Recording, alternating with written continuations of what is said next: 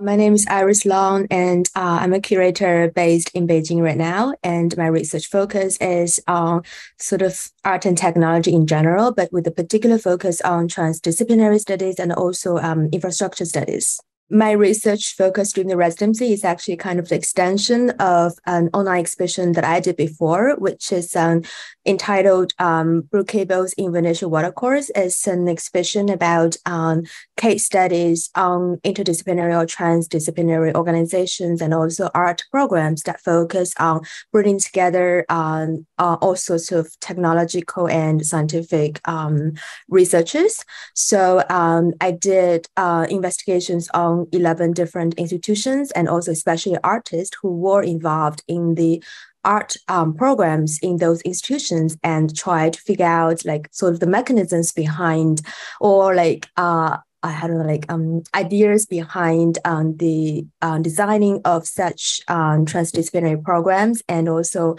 um, help to um, sort of um, develop sort of like overview of um,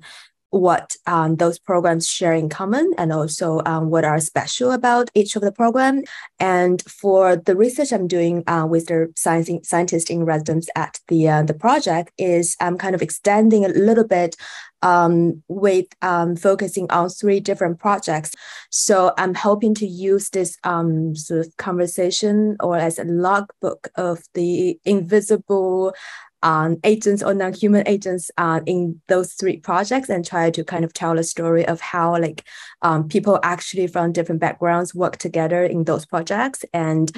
and illustrating the status of sort of in between the visible and the non-visible and what emerges in the in the process and when at which moments. And the entire story is told um, through the voice of um, the sort of a non-human um, participant in the in the three projects. So I think my position in this driving the human framework is I find a chance to um, kind of not just participate in one session, but also um, get a chance to follow one project in long term and also find um, my way of interpreting it as it grows, as it develops. And my interpretation becomes very interesting, like resource for my storytelling uh, in this article that I'm hoping to produce. The um, research span for a scientific project is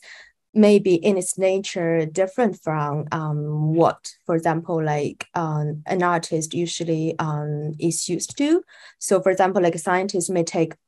10 years, 20 years, or even like longer entire lifetime to really achieve something. So I think when we try to put scientists and artists together, we are we're actually colliding two sense of time and also like the like the intensity of work within that time time uh the, the time span. So um so i think that's that's the really tricky part like um and that will also influence how we define the output of such collaboration. Because like i know that in some of the in some of the programs the artist can write an article can write a paper can do a presentation can uh, you know like um can